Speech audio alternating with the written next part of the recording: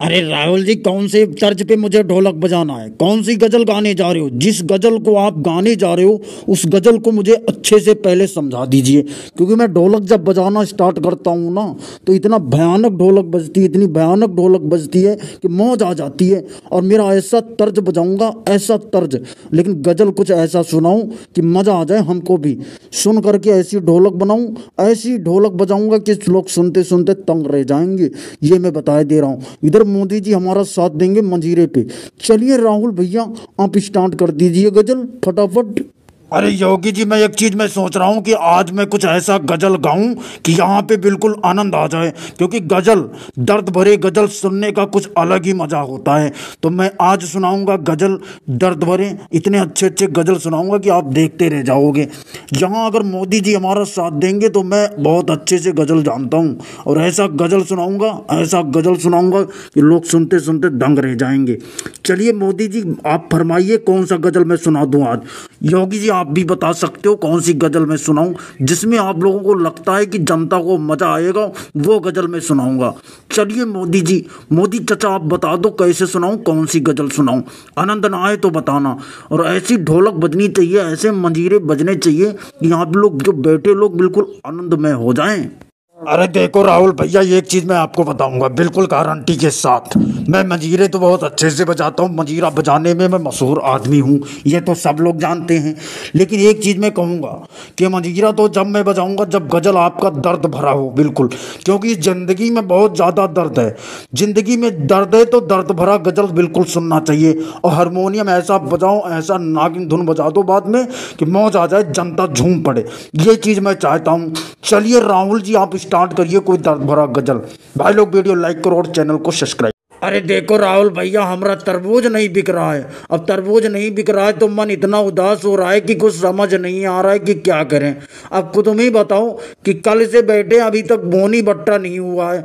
पता नहीं किसकी नज़र लग गई हमारे तरबूज पे। कुछ समझ नहीं आ रहा है। अब एक बात बताओ कि ये तरबूज बेचे तो बेचे कैसे?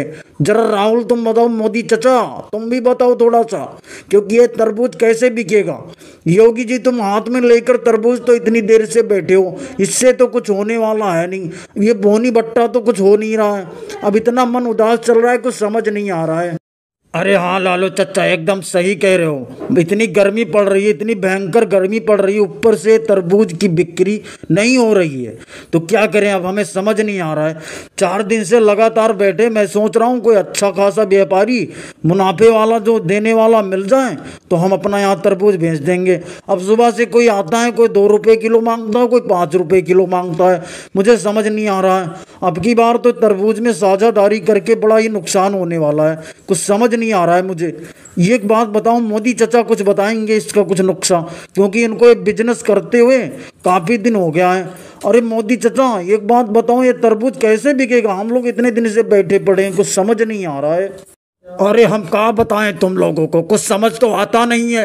अब बताओ ये तरबूज जो तुम धर रखे हो, यहाँ पे हमको पार्टनरशिप में तो जोड़ लिया तुमने, लेकिन एक चीज़ तुमने देखा नहीं। ये तरबूज देखो मेरे हाथ में, कितना सड़ा हुआ है। अभी दो ग्राहक आए हुए थे, उन्होंने तरबूज उठाया तो यहाँ सड़ा निकल गया।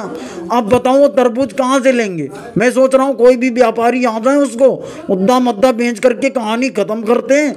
और आज से पार्टनरशिप बिल्कुल ख़त्म करते हैं बिज़नेस में। जो भी करना होगा, अकेले करेंगे, कुछ भी हो जाए। या हम योगी के साथ कर लेंगे, कोई बात नहीं। भाई लोग, वीडियो लाइक करो चैनल सब्सक्राइब अरे क्या हुआ? आप लोग यहाँ पे लाइन लगा के बैठे हो एकदम। क्या हुआ? यहाँ पे इतनी देर दूध की साइकिल लेके बैठे हो। आप लोग हड़ताल कर रखे हो? क्या लगता है? क्योंकि आज मोहल्ले में अभी तक दूध नहीं पहुँचा किसी के घर। तो यही मैं जानना चाह रहा हूँ कि आप लोग यहाँ पे क्यों खड़े हो? या तुम्हारा दूध खत्म हो गया या तुम लोग दूध देना नहीं चाहते किसी को? मुझे समझ नहीं आता। जरा मुझे ऐसे करके बताइए, तभी समझ आएगा। हम लोग अपने घर से बाहर निकल के आए हैं। करीब दस बज रहे हैं। अभी तक चाय नहीं बनी है। अभी मैं सोच रहा हूँ कि दूध आएगा दूध वाला तो अभी दिखाई नहीं दे रहा ग्यारह बजने जा रहे हैं। तो ऐसे दूध देने से हमें क्या फ़ायदा? हम तो पैसे देते हैं। ये क्या बात हुई कि आप लोग दूध लेकर नहीं पहुँचे? यहाँ क्यों खड़े हैं? मुझे फ़ौरन बताइए। अरे देखो नितेश बाबू, हम यहाँ से नहीं जाएँगे। जब तक नहीं जाएँगे, हम अपना हड़ताल जारी कर रखेंगे। बिल्कुल दूध नहीं पहुंचेगा किसी के यहाँ पे।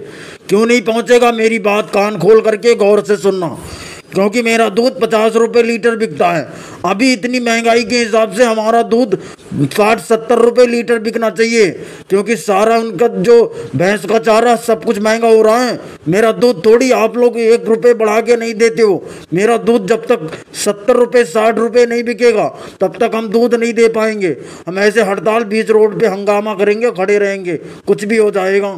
मैं बताए दे रहा हूँ अरे केजरीवाल भैया, ये गरीब आदमी कहाँ से खरीदेगा? कहाँ से खाएगा? गरीब की कोई मजबूरी समझ रहा है क्या? हम लोग तो ले नहीं पाएँगे चालीस रुपये लीटर। अब बताओ, इतना महँगाई हो रखी है तो हम कहाँ से दूध खरीदेंगे? अब तुम ही बताओ योगी जी, कुछ बताते क्यों नहीं हो? मुझे कुछ भी बताओ, तभी मुझे समझ आएगा। अरे भैया, मैं क्या करूँ? ये तो सरकार से बोलो, मुझसे क्यों बोल रहे हो? मैं तो दूध वाला हूँ। मेरा दूध महँगा जब तक नहीं बिकेगा, तब तक मैं दूध नहीं दूँगा, बस।